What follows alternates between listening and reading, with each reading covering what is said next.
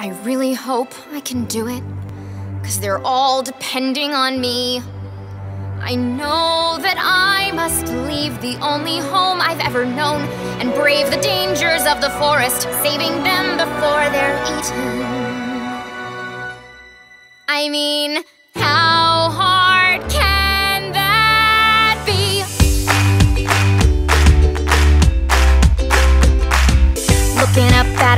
sky so shiny and blue, and there's a butterfly. Well, isn't that a super fantastic sign? It's gonna be a fantastic day.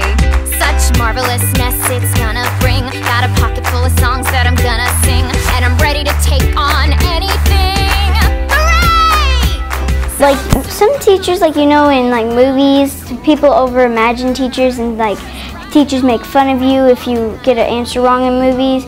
But like in real life, if you're if you're in Miss Floyd's class, she's just really a really nice teacher, and if you get it wrong, then she asks you, well, "How'd you get that question?" And then you'll start to realize like why you're wrong, you know, and then sometimes she'll even change your thinking if you don't change it while you're going over your answer.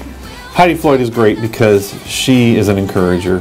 Her students do not want to disappoint her, but her excitement for math rolls over into students. Students come out of math excited, and you know they they really truly walk out of class loving math because the excitement Miss Floyd has for them and encourages them. Hey, I'm not giving up today.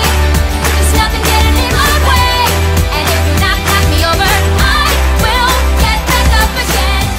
Oh. Well, she makes math fun, and um, I struggle a lot in math, and she really just helps me in math. Like she makes me feel good about math, and math is like now my favorite subject because of her. It's her such her positive attitude, and I think it's just because like um, I kind of have a relationship with her now, and it's kind of like she kind of she helps me in a way that is just unexplainable because it's just she's amazing.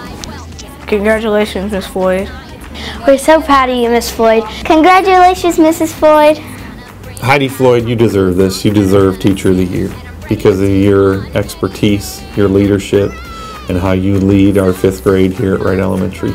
Smile and enjoy this. You deserve it.